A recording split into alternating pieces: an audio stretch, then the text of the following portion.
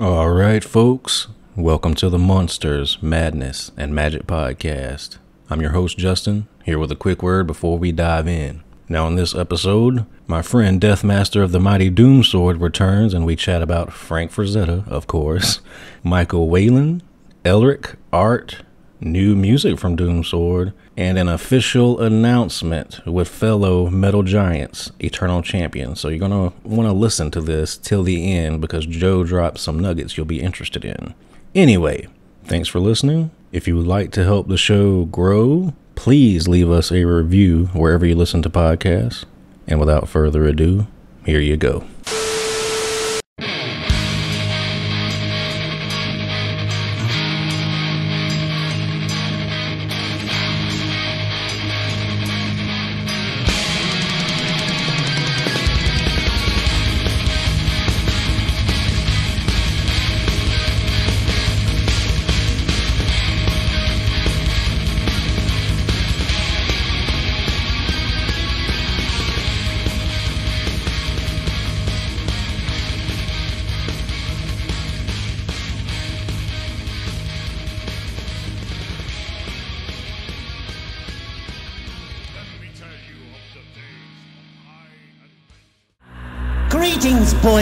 Ghouls. This is your comrade, the Crypt Keeper here, reporting dead from the sanctuary of the strange. Tonight's macabre myth is a fright-filled feature, one overflowing with monsters, madness, and magic.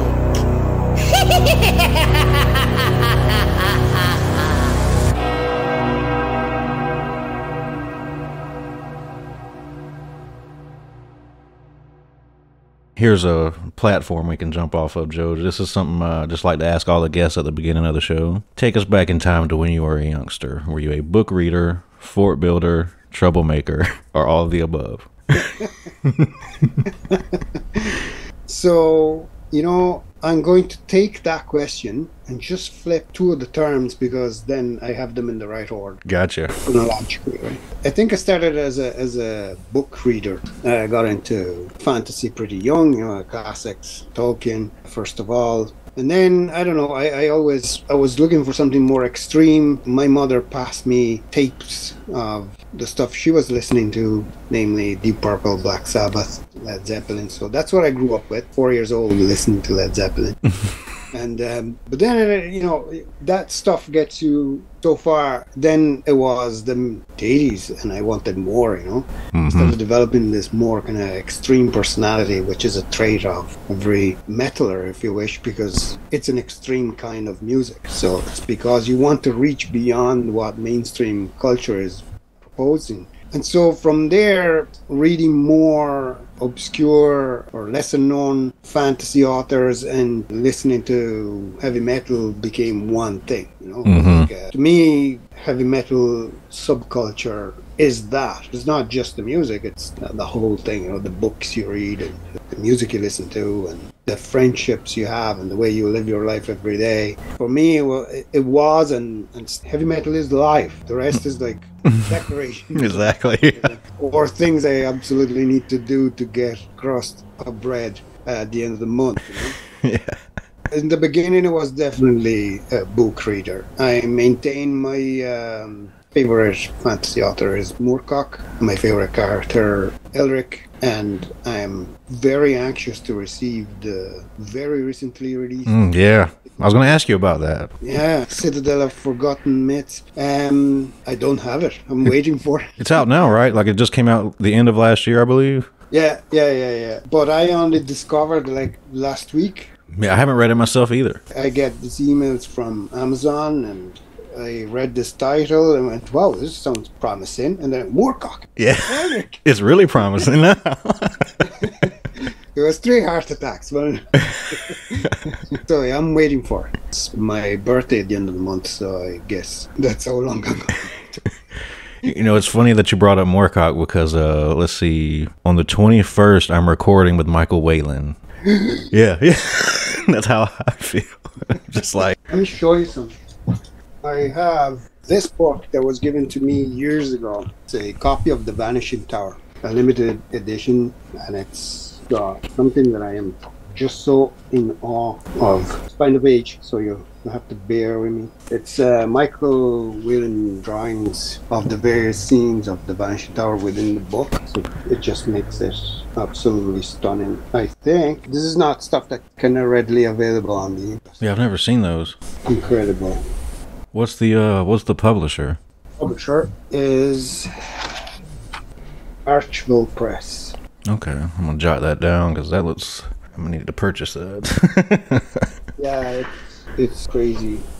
Uh, it's print autograph from Michael Whelan, but it's a, the closest they get to an autograph. I'd be very curious to, uh, to ask Michael a lot of questions, but um, I think I trust with the questions you have, Thank you. and um, I'll just enjoy enjoy the chat. I don't want to pester anyone, but I will tell you something. Michael Whelan changed my metal life really? for sure because I did not know Cirith Ungol and I only bought them because of the cover of King of the Dead. No other reason on earth other than with a cover like that, it's got to be fucking great. Yeah, they knew that as well. That's why they used it. I find, um, I think we, we talked about this maybe in our previous chat about the um, this idea I have that there are perfect couplings between an illustrator and the artistic content. It not, doesn't necessarily have to be uh, a band. Be a Right. book. For example, the Lancer editions of Conan the Barbarian with the Frazetta paintings.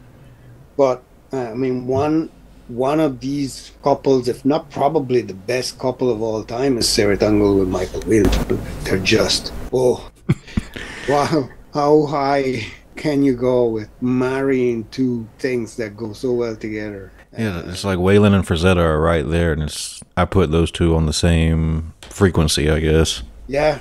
So you name Frazetta. You tell me what minute into the chat we are because my my guess was four minutes. then I wrote it. Well, we made it 17 minutes because we were talking about Michael Whelan first. making a point not to make this chat about Frazetta. it's gonna circle back eventually. Yes. So book reader, metaler, and then you know you said uh, floor builder and troublemaker. Troublemaker then because I mean I was never a criminal, so let's not pretend uh, I was ever anything beyond a bit of an annoying brat. But that's the extent of my troublemaking. But you know, not wanting even to get a, a proper job, you know Right. or whatever because you, you had to you had to lead a metal life. So what did i what did i do? I got four of my friends together. We bought a record shop. Uh, it was called riff raff he owned it for, for six years and i remember the thing is that was our uh, that was our local my first heavy metal shop i ever went in. And i kind of said to myself i'm going to own this place one day. It, it didn't end so well. But but for five or six years it was it was uh, good fun. And i remember that um so we we had recorded the first Doomsword album in this in this place that didn't really have a name. And then the sound engineer became part of the group of people that decided to buy the record shop because it was for sale. So yeah we, we started put things in motion and we decided look let's not just own a record shop. Let's combine forces. Let's also own a label and a recording studio. We needed premises. When we went to inspect the shop it had a basement. It was mm-hmm. huge. Well not not not, in- not, not enormous but big and um, it was full of uh, garbage. But within the garbage, there was also test pressing of rare albums, all sorts of stu- stuff. So it, it we decided to clear it all up and then build a partition wall and make one half the price and the other the uh, direction. We transferred the um, all the equipment from the old place to the basement and we called it Conquest Studio, and that's where we recorded three albums, the three following albums. So, on the Horn, The Battle Commence, and uh, Name Will While we're on the subject of Doomsword, why don't you just uh, tell us how the reissues came to be? How did that get started, and what's Well, coming up? the- so this is the reissue of the first album. You might have seen the box Beautiful. uh, with the flag and everything. by Chris, No Remorse in Greece. It did a great job of it. Um, I, I, didn't really have any say. I was happy with it, but uh, it wasn't entirely uh, business entirely conducted between Underground Symphony. So as far as the reissue, of the first album was very much. I, I got told it's happening. and as I said, very happy. As for the demos, this goes back to 2019 when after Mark Shelton died, Oliver, the organizer, Keep It True, and Brian in Manilla Road, Hellroadie, they, they got together and they, they decided, you know, we'll, we'll have a tribute, we'll make it the headliner of the entire festival. And they said, let's, let's invite musicians that we know Mark considered to be friends. And they called me and I was extremely flattered and honored. They thought of me we decided to meet a couple of days before the gig to rehearse in person because everybody studied their own parts at home, which wasn't difficult. really, for me, the only thing that I needed to do was not have any bits in the lyrics where I go na na na. I knew everything. Right. Uh, I just, you know, sometimes you don't know all of the lyrics off by heart. Right. So I just had to, to make sure that I had them. We we met and we started playing and I got on really well with Phil, bass player for Manilla Road at the time of uh, Mark's death, uh, Phil Ross, and he owns this label called Postmortem Apocalypse. So we stayed in touch, and I can I can say that you know it's a friendship. He's such a great guy, so serious, so committed to the cause. You know, he wanted to do something special, so we set out set out to do something special. You know, something that uh, our our intent was to release this demo in in a format that we know Doomsor Doomsor fans would appreciate, namely a vinyl, um, but with something in it that would make it special. You know, like the biography booklet with the biography and details that otherwise people wouldn't really be able to know and learn about us. Basically, something that was special that would motivate you to buy it and then wouldn't feel like it was a money grab. Right. Rather, just literally celebrating, giving as much to the to the buyer as possible. Exactly. Rare pictures, that kind of stuff. I think it's pretty amazing the way it turned out, the, the unique kind of material that Phil uses as the as the cover, which feels like uh, know, clothes nearly. It's very cottony feeling, very very uh, unique. I, I, didn't ever come across something like that. I thought I made it special to the last, you know, to the last detail. And to be honest, the feedback was amazing. Everyone loved it and you know Phil had to redo the mastering twice because we, we wanted to to give the best possible. At the end of the day, it's a it's a demo. You want to listen to it and you want to get the best experience possible. So we we needed to make the best out of uh, of a tape that was recorded in dreadful conditions, more dreadful equipment, I remember Guardian Angel, the first, the other founder, Doomsword. I remember in the book he said the our four four track uh, recorder only had one special effect, and that was a lot of background noise. so yeah, it needed to be denoised a bit. I don't know how much it could be done more than what we did, but we uh, I can assure everyone what they're listening to is the absolute best we could do. After the, you know, the owning the um, record shop and, and studio years, uh, also came the the floor floor builder in the sense that I um I managed to get into with the old owner of the shop. I managed to get into uh, helping out with uh, organizing with the actual practical help with building stages and carrying equipment, the logistics basically for some gigs that he was organizing. And that got me to meet all these people in person. Like I remember at the time, mid 90s, my favorite band was Iced Earth. Was just in love with all their stuff. And I remember they came to, to play in Italy, supported by Nevermore. And I was mad. Um, I liked Nevermore, but I really loved Sanctuary. And I remember that particular time we were taking care of logistics and the shuttle that used to the worked as um, bringing the artists from the venue to the hotel and back. It broke down, So I had to do it with my car, which was a right banger. and I had I had Jon Schaffer and Warrell Dane in my banger. I was bringing them to the hotel. so you know, if it's the equivalent of like someone saying this this particular person is my artistic idol, and you go, okay, no, picture you own a banger of a car. You're giving them a lift. How does that feel? Completely surreal. I'm sure they appreciated the lift. yeah. so they did, they did. I did it with all the bands. I, I got to meet a fair few musicians. I also got to watch a lot of gigs for free. So, what about your parents, Joe? Were they uh, were they involved with musically with anything? Were they involved in the arts? What were they doing? My parents. So my dad was from Naples in southern Italy. No, he was not involved with anything. But like every Neapolitan, uh, can sing very well. They're a bit like of like I don't know if the whole of Italy can sing, but my father could, and the majority of Neapolitans can.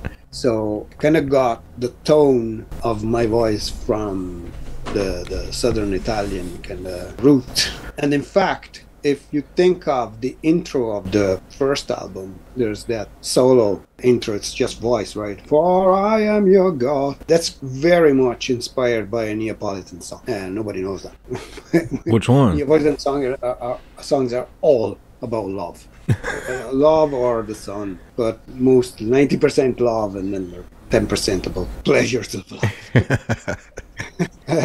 not very tragic. And that intro is uh, quite uh, explicitly inspired by uh, by a love song, a, a Neapolitan love song. So that was my dad's kind of influence mm. on me. And my mother then was a, a, a good painter. but she is still a good painter. And they, they both my parents were painters, but my mother, I think, I feel was a little better. So I got my love for visual arts from uh, from that, and they pushed for me to learn the piano when I was six. So that that gave me an, an amazing foundation in terms of you know if you think Italy of the early 80s learning piano means you know learning the whole theory and very formal and strict and uh, you know I was a proper gym for someone who wants to become a musician Problem is that then 10 years later, I could play the piano decently well, but all I wanted to do was plug in the guitar. and I couldn't, and I didn't have the money to buy a guitar, so I had to earn it. So I remember that my dad said, uh, you wanna um, buy a guitar? Look, your uncle needs help there in the warehouse unloading trucks. You go there and you get your money no problem. In those days, this was classic Southern Italian, that's gonna build character approach, right? Mm-hmm. uh, I don't know that it built character, but I got my guitar. I was gonna say you got the guitar, that's the goal. so yeah, that was that was great. I got my first guitar. Must have must have been something like the equivalent of three hundred dollars nowadays, thirty something years ago. You still play piano? I have a keyboard around, and I am. Is it a terrible pun to say that I'm handy? handy with a keyboard. uh, I survived the terrible pun test. yeah, I'm handy. I lost a bit of. I'm so kind of guitarified as a musician that I lost a bit of that multitasking ability that I had with my hands. One one hand to do one thing and the other to do a completely different thing because it's the exact opposite of the guitar where the two hands need to be absolutely synchronized so yeah but um, but i am good enough to uh, i don't know play keyboard parts in songs i write or if we want to put a bit of keyboard part in a, in a song and I could do it. We don't normally. There's a lot of Doomsword stuff that has been written and never made it to being recorded. I think I mentioned in our pre, in our first chat that uh, I might easily have another two, three yeah, yeah. uh, Doomsword albums that never got. So, and you might. You're going to cause fans to have some gray hairs if they're listening to this. yeah. You're going to have pitchforks and torches at your doorstep. yeah, exactly. it all came from uh, Manowar writing, you know, no synthesizers or whatever. But I don't think they ever meant it in a no instrument that has keys. was ever played on the sound. Because there was uh, piano parts and especially in later albums. I think they just meant we don't do electronic stuff.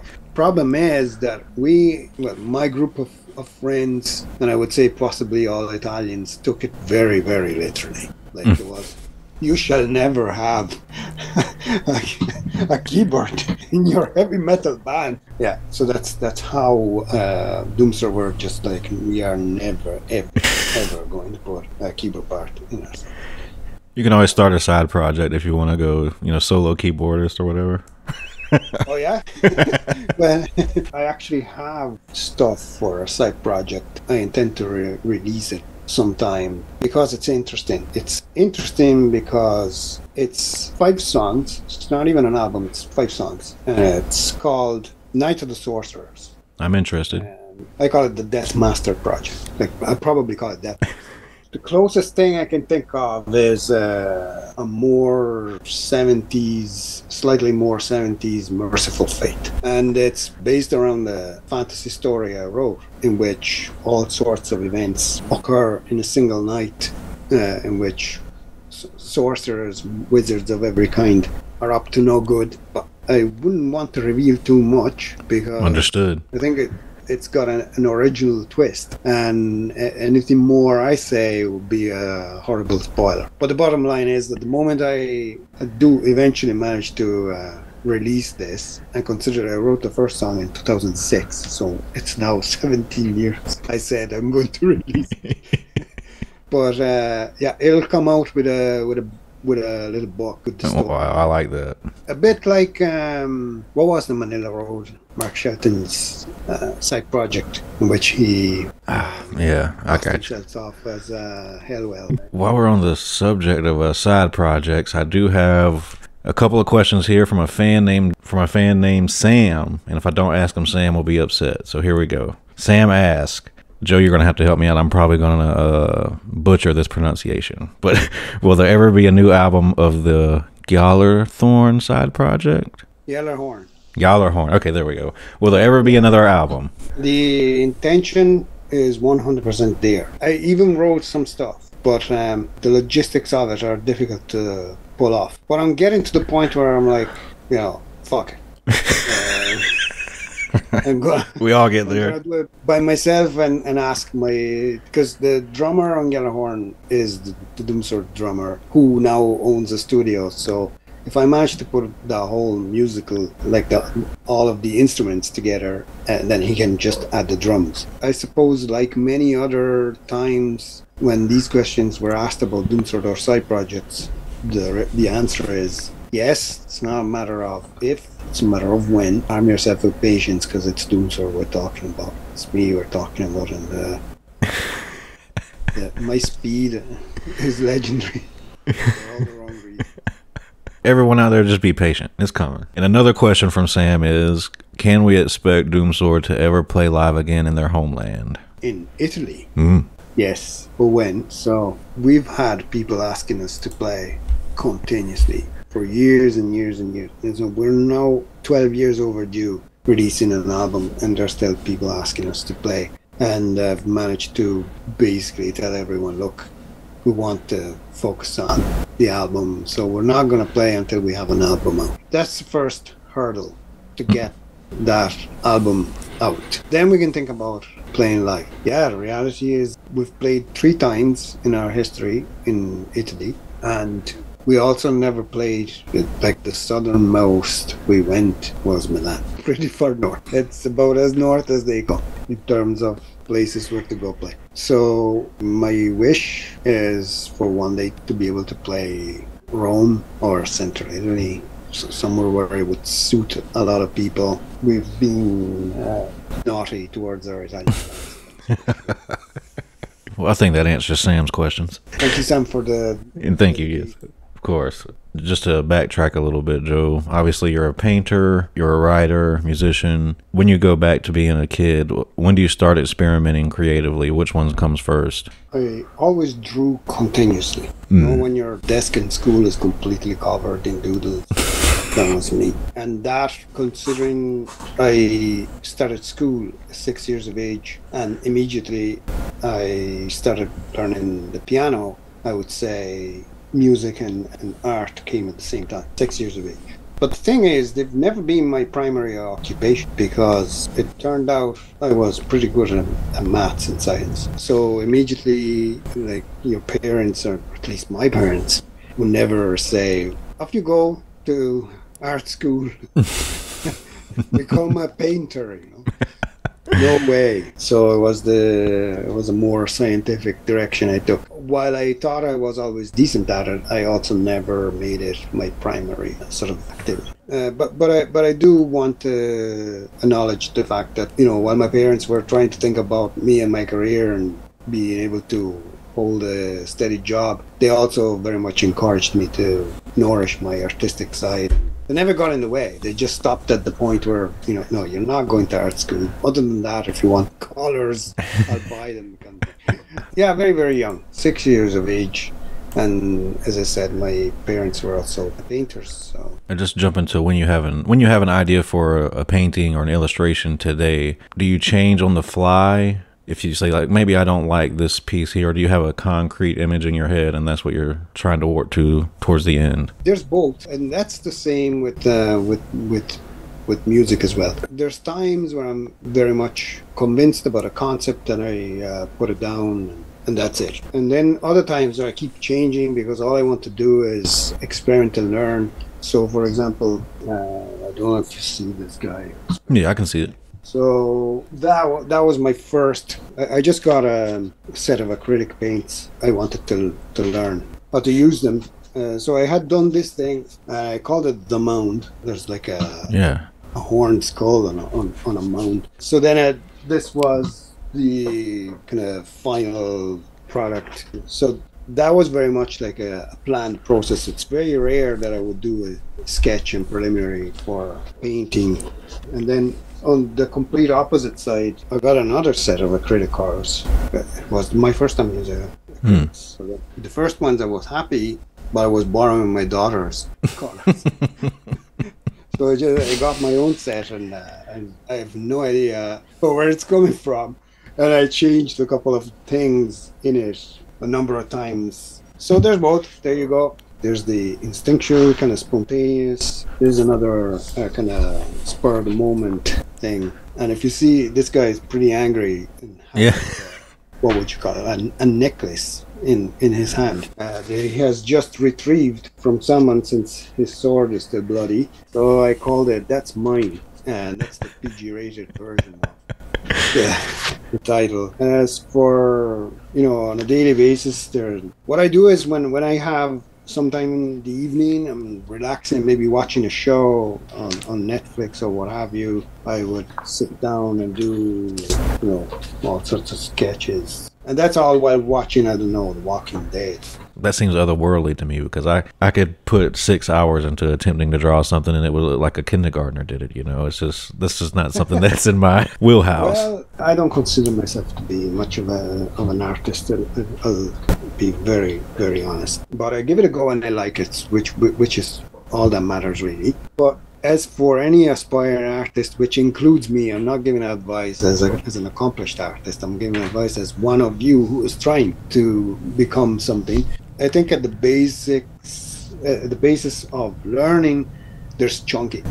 So you need to decompose every problem in its kind of basic units and start from there and repeat the path of the ones you admire because you won't have an identical result you are you and the people you admire are, is, is them and you're not them so and, and that's good because the, the world is beautiful because it's varied if i think for example about Frazetta. He, you know, he was learning to draw, and someone said, "Look, you're really poor on the anatomy. You need to learn it." And he got this book by uh, Bridgman called Constructive Anatomy. He studied it over one night, did it all, woke up basically got up the next morning from his desk or whatever wherever he was working and announced i know anatomy you know kind of thing that's because that was Frazetta. He could mm. learn anatomy in one night. That's for, for us mortals.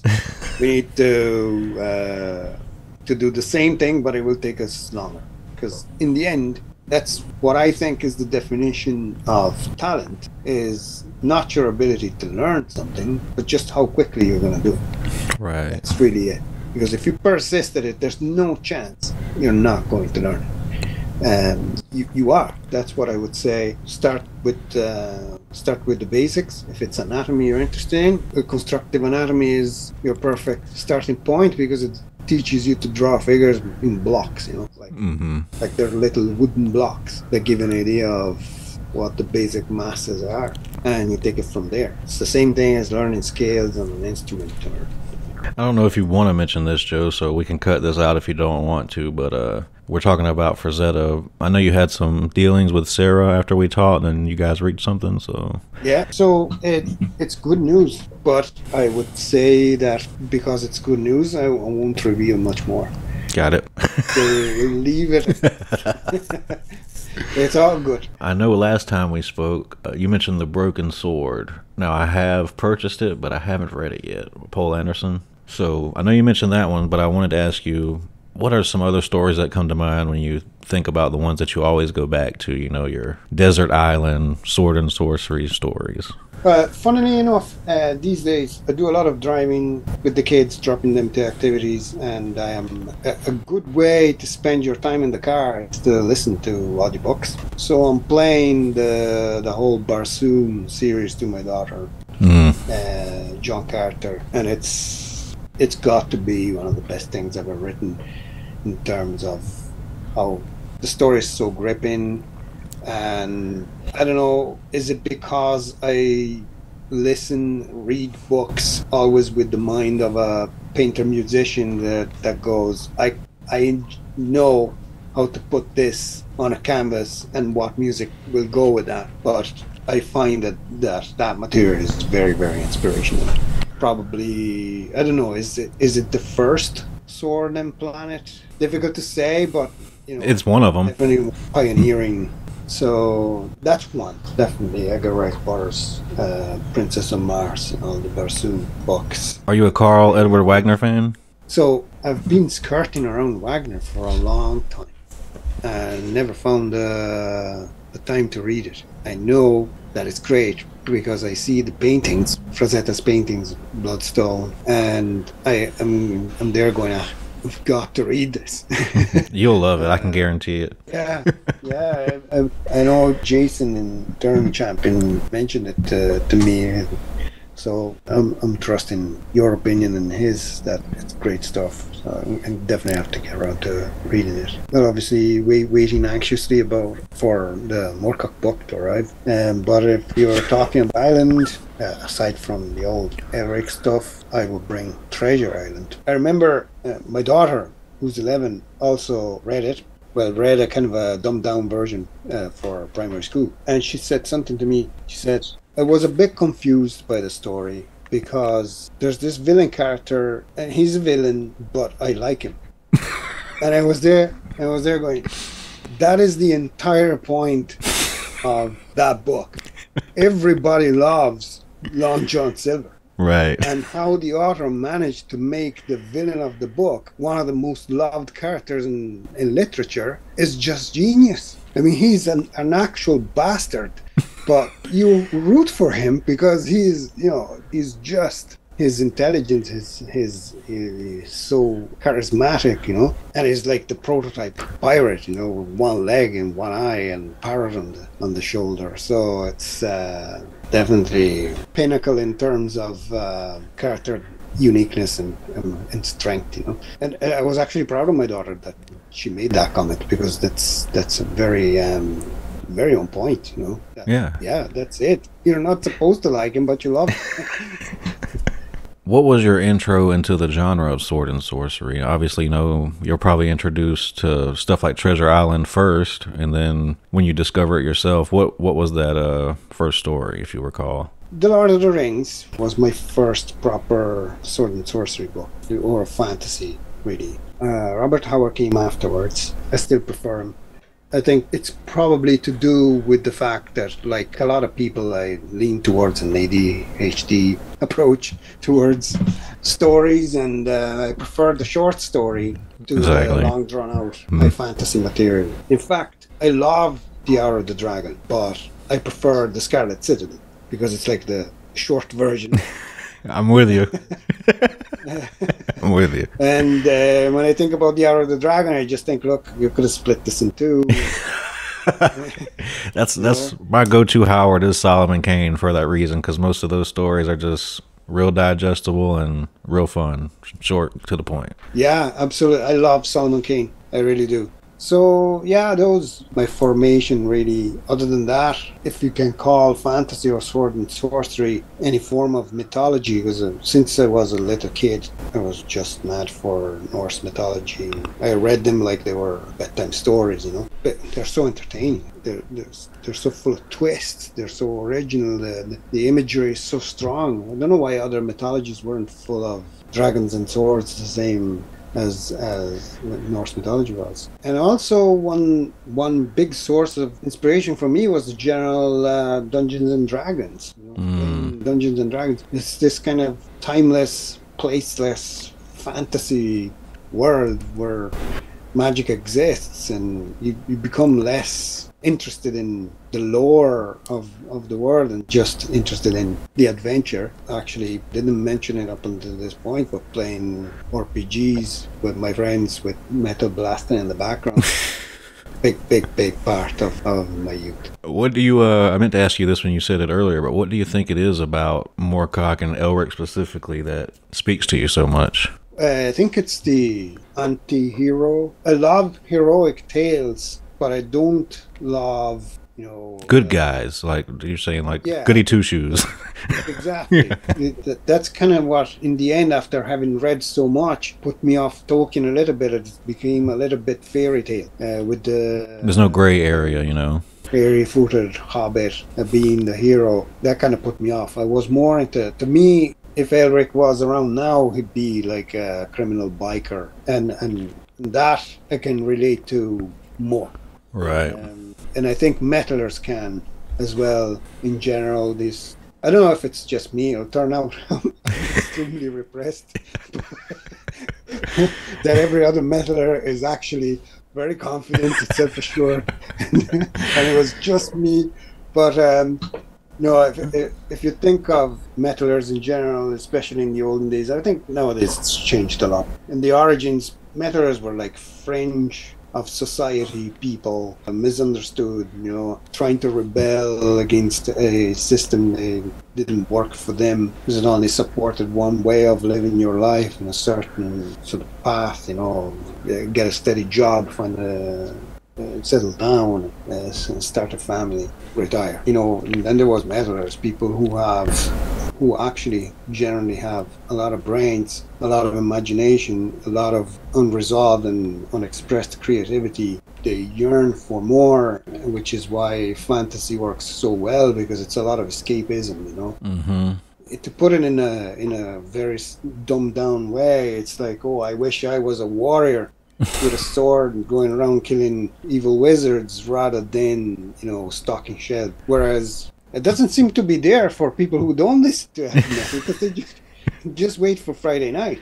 Uh, Get pissed in the in a pub, you know. uh, for us, instead, it was it was different. It was more to do with finding finding a better world within ourselves because it didn't exist outside. Uh, it was all in in our brains. That's what I try to express in the song "Days of High Adventure." That you know, when I say our weapons in our heart more than in our hands.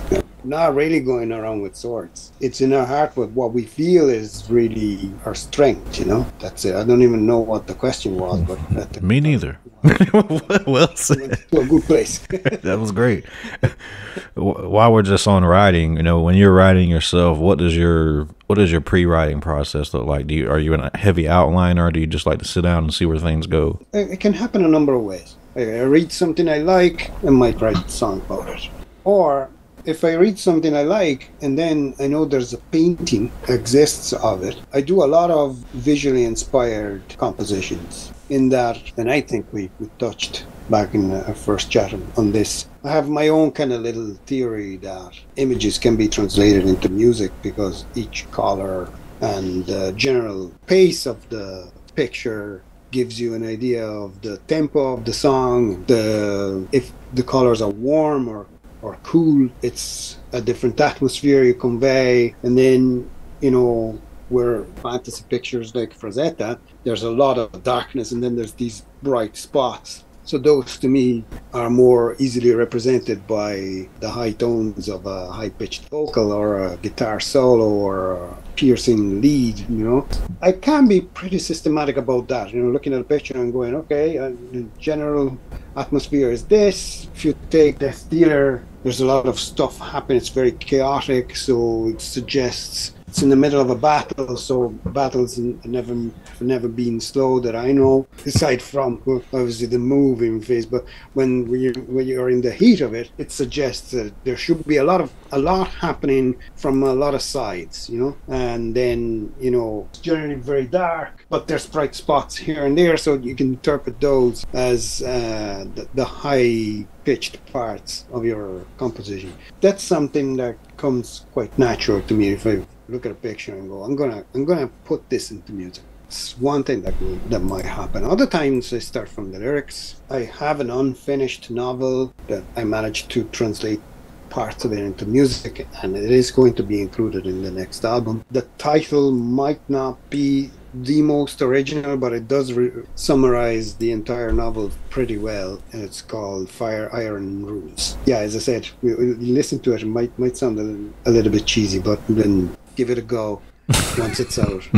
Uh, uh, you won't regret it. Um, in a few words, it's the story of a a monk during in this kind of alternative fantasy history. A monk during the uh, invasion of the Longobards of Italy, a monk that performs the reverse conversion, mm. so goes from being Christian to pagan. And in the story, you'll find out why. That's one source of inspiration that so out of all your uh, creative endeavors be it a, a picture that you've painted or recording music or writing a story which project have you undertaken that you would say has been the most challenging? Is there one that you lost the most sleep over or pulled your hair out over? The novel because it's not finished and I think if i think back at early doomsword and i think about my accent being really really bad being able to hear it and my musicianship being less than what I would like it to be. I personally have that tinsy bit of cringe back and go, what? but at the time, I didn't. I was young and uh, I didn't care. And anyway, I didn't know any better. I thought right. it was good. I mean, it is good. ignorance is bliss. I would have pulled my hair out back then had I had the awareness I have now. But that instead is what's happening with the novel because I am now a, little bit self-conscious. You know, I'm not English speaker natively. I'm not. I'm writing in English. Mm-hmm. Uh, am I trying to do what Italians call doing a step that's longer than your leg. So that's the bit where I'm going. I don't know. Am I a good story writer? People will think it's amateur stuff. The English of it is poor. So that's that's where I am with it. But a good song came out of it, so it's not all. All is not lost. I haven't told you face to face just tell you thank you for the uh the painting of Ob. You know, my wife really oh, loved it and you know, I still have it as my cover, so I'm gonna have to get a big blow up painting of it one day and hang it up on the mantle. It's, just wanted to thank you Very for doing good. taking your time to do that. That was my um, I was experimenting with a graphic tablet. As I said, I, I do a lot of doodling during in the evening and didn't want to waste a lot of paper.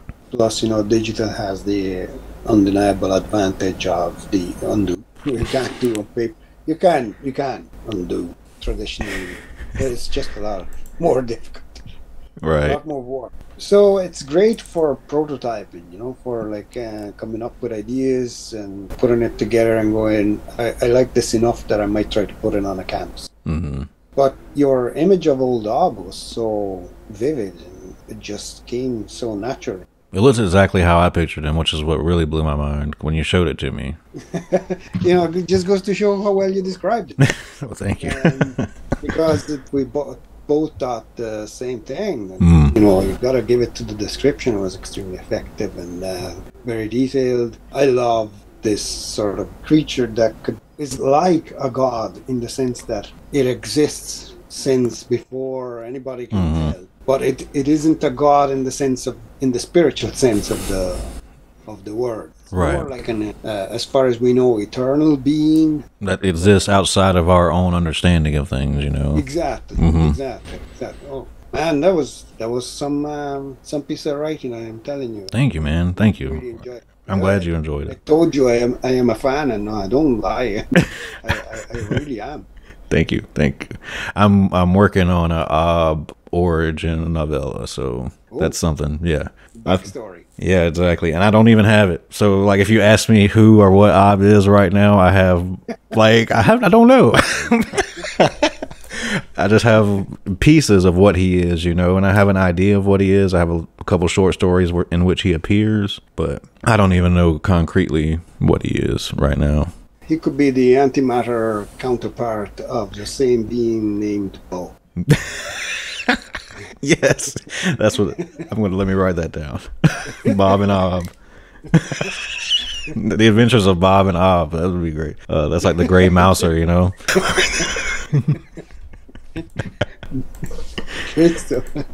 So, okay, uh, this is something I like. This is something I like to ask everybody, Joe. You never know what folks are going to say. So, have you ever had an experience in your life that you would consider supernatural or paranormal? I obviously it could have been anything, but um, we were having we were grilling meat near this church, which is right slap bang in the woods. It's kind of a sanctuary, and we made it a habit of um, going there with some chopped wood, digging a hole in the ground, and burning some wood, and then cooking the, the meat on the on the on the embers. You know? Mm-hmm. because it was pine wood actually it gives meat an amazing flavor nearby there was like an opening the place is spooky on a good day and i don't know why i ventured off but i did and it was completely dark there was absolutely no artificial light all around covered it's basically forests everywhere except, except for this kind of opening flat opening uh, with a grass meadow. And i swear i saw what looked to me like a kind of a procession that didn't last very long. And it was a,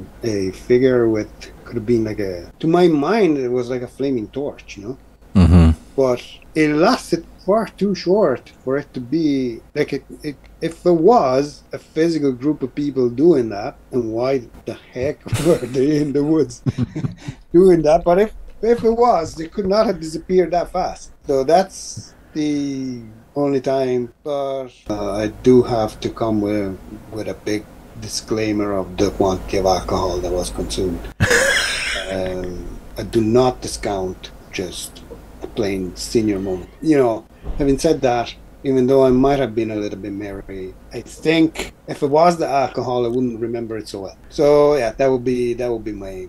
Just to put a bow on everything before we wrap up here, what's on the horizon for you? You know, the mob's going to come after me if I don't look at you and ask, what's the update on the new album? I have to ask. Like I said, I would like to say we are recording. Uh, there's definitely people in the process of entering a room with instruments and recording music. This is happening right now. So that what that also means is obviously the songs are done. They are there might be a little bit of work on them while we are in the studio, but the songwriting is done. The lyrics are written, melodies are there. It's just a matter of um, getting it done. At the same time, uh, I don't know if I'm saying this as, as a kind of a wishful thinking more than anything. Recording an album should never be a long process because uh, it it starts. It's like overworking a painting. You end up ruining it. It should be like enter, record it. You can give it a second pass later on, but never let it linger and fester. Uh, It goes bad. It goes off. It's like, oh, milk. Don't, don't do that. Uh, Exactly. especially because you, you lose the moment in time when you were doing that. It becomes uh, spread over a number of periods, and your mentality changes. Your your you change, and nothing nothing's gonna come of uh, that process. Mm-hmm. You got an album, go in, record it. So that's what, what we're trying. And uh, since you mentioned his name earlier, I'm not going to elaborate any further, but I'm just going to say, Jason, anything there? Or you know what I'm talking about? yeah. There is there is a, a, a, a, little surprise coming. Things are going much slower than I would like them to, uh, because at this point, uh, getting the damned album is our absolute priority. Because it was two years ago I announced that we were done with songwriting with the kind of basic drafts of the songs and we were going to work on them as a band and prepare them for recording. And I know we had our fair share of um, incidents and, and mishaps uh, that delayed things out of our control. But we're, you know, at this point, we already got to go, you know, enough excuses. I know people get injured. I know the weather gets bad, but we've got to record this. But that's it there is something coming with us and Eternal Champion, and um, it's definitely happening. It's going to be absolutely great. That's what we're looking for. All right, man. Well, Joe, let's not wait another two years before we uh, chat again. but I'm gonna let you go get some dinner. I know you're probably tired. Yeah, well, but that's that's a kind of a always. I got I got this disease called kids. Uh, Listen, Justin, thanks a million for having always a real pleasure talking to you. I'm looking forward to uh, more of your material. I'm probably going to hold this until after I release Michael Whelan. So, because sure. I just mentioned it, so of course when I release it, people are going to be like, "Where's Michael Whelan?" You know, so I'll just. Yeah, all right, yeah, so I'll send this down the pipeline when it's ready. Very good, brilliant stuff. Uh, thanks a million, Justin. All right, and, thank you, Joe. Uh, don't don't be a stranger. Man. For sure. You have a good night, man. You too. All right, folks. That's a wrap.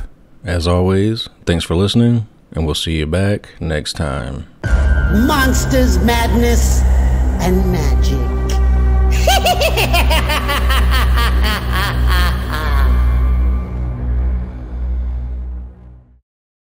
Welcome to the night. You think you know Night Demon? then the Night Demon Heavy Metal Podcast is for you. Step into the darkness as we peel back the curtain to give you an unprecedented, all access look into the mind and the heart of the demon. We're talking band history, song analysis, studio anecdotes, stories from the road. It's everything a die-hard Night Demon fan could want and more. This is the only place to learn the inside scoop, the deep dive trivia the untold tales from the band members themselves and those closest to the Night Demon story. Need more? The sacred Night Demon Crypt will be pried open to reveal demo recordings that have never before seen the light of day, all with in depth commentary by the band and the people who were there for the writing and recording process. This is a gold mine, a treasure trove of all things Night Demon. Head over to nightdemon.net or wherever you listen to podcasts. Listen to podcasts. Listen to podcasts.